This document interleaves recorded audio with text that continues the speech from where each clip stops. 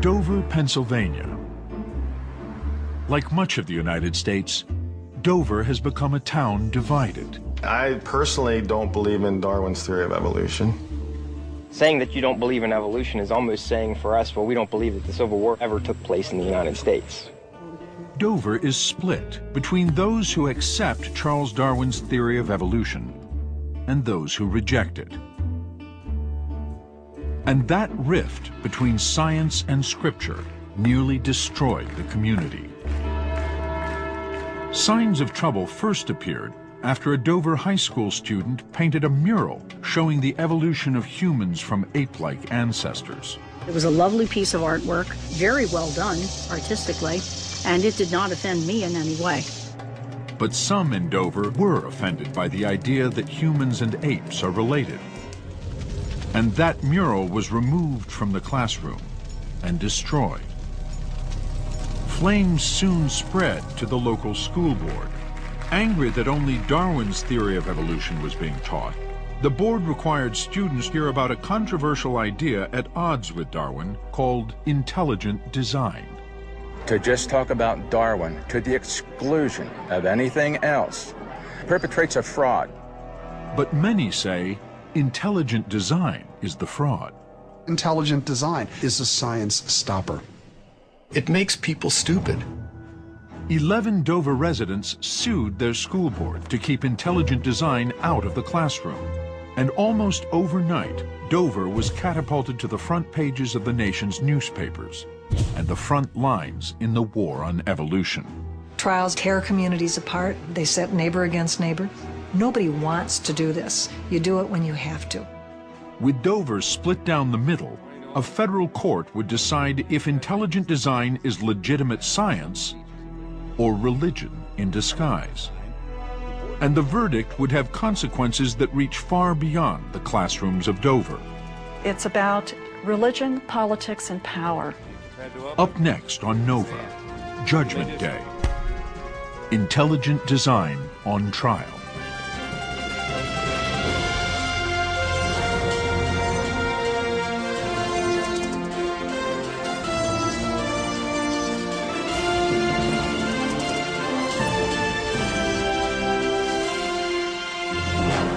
Major funding for NOVA is provided by the following.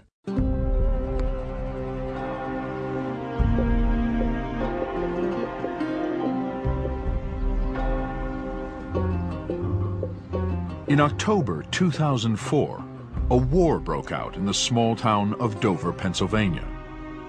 Today, the teachers in a rural Pennsylvania town became the first in the country required to tell students that evolution is not the only theory. It started when the Dover Area School Board passed a policy requiring that its high school science classes include a controversial subject called intelligent design. Proponents of intelligent design claim that many features of living organisms are too complex to have evolved entirely through the natural process of evolution, as Charles Darwin proposed. Instead, they claim some aspects of those organisms must have been created, fully formed by a so-called intelligent designer. And advocates contend Intelligent design is a bold new scientific theory with the power to overthrow the theory of evolution. It's scientists debating science based on the evidence, not based on any religious text or authority, and it's clearly, uh, properly the subject of a science class. It's in fact opening the path of inquiry uh, to new ways of thinking about things.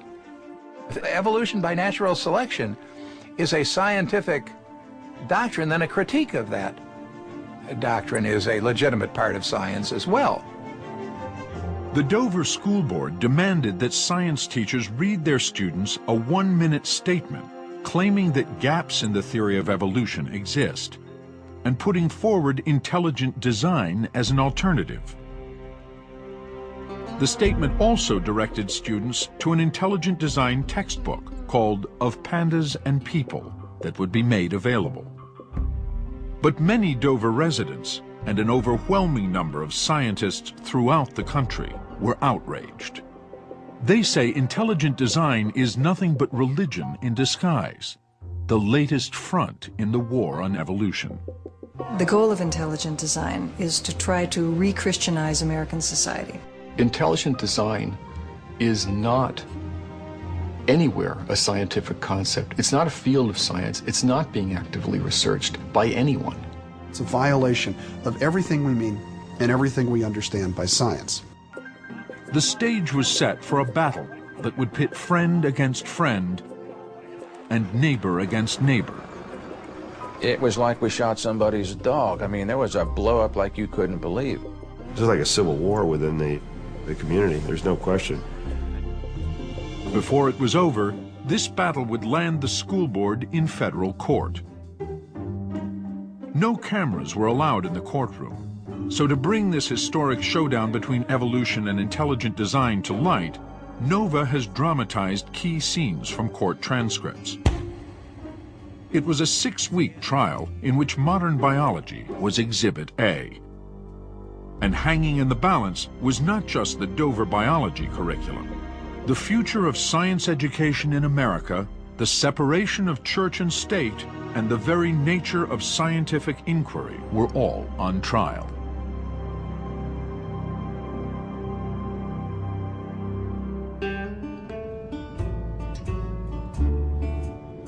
In Dover, Pennsylvania, the debate over religion and evolution has long been personal. We live in a community that has a great many fundamentalist churches. I've never appreciated the fact that my children are being taught to believe in evolution as opposed to creationism. In the beginning, God created. To me, that's all I need to know. Located in the southeastern part of the state, about 20 miles from the capital, it's a quiet, rural place, home to about 20,000 people, more than a dozen churches, and one high school. One of the first people in Dover to sense that trouble was brewing was Bertha Spahr. She had been teaching science at Dover High School for almost 40 years. In the spring of 2003, she received some disturbing news from the school district's assistant superintendent.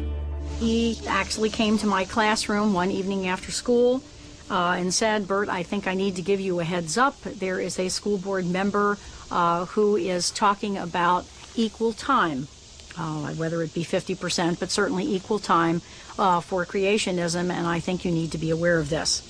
Um, that's when the red flag went up. Another science teacher, Brian Rehm, heard this too. I had actually laughed at him because I thought that was the funniest thing I'd heard. I mean, creationism was ruled out as public education and science when I was in junior high school. When Bertha Spahr asked which school board member was interested in creationism being taught alongside evolution, she was told it was a local businessman named Alan Bonsell, who had recently joined the school board.